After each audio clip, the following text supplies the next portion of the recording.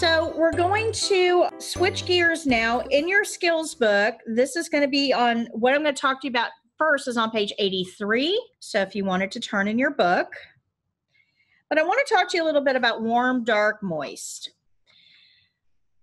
We learned this on the very first day. If you remember when we went over uh, hand washing, I told you that there's three things that uh, pathogens or viruses, bacteria, and yeast need to survive in a setting, and that's warm, dark, moist. Not all pathogens thrive in those environments.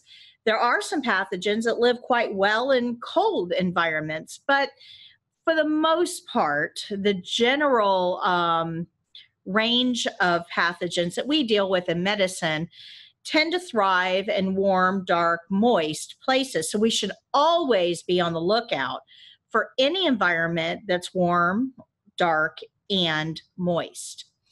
Well, between the toes fits that criteria very well. It's warm because of body heat. It's dark because we usually have socks on, and because it's between the toes, they're crevices. And it's often moist because of sweating. Now, if we put lotion between the toes, that's going to hold that moisture in place.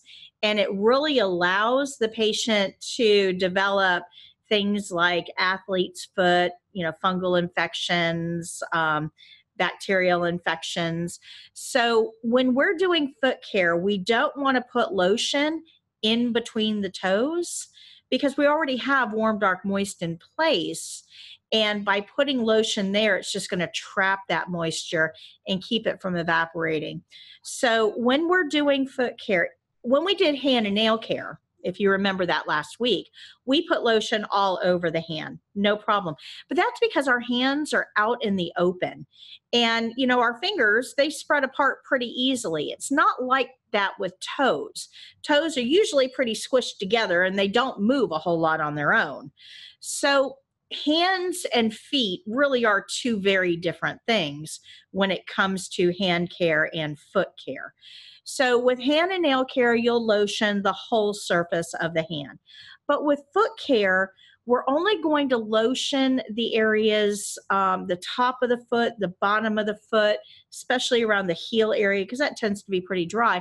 But we're not going to lotion between the toes, just so we don't get that um, moisture uh, trapped in that area.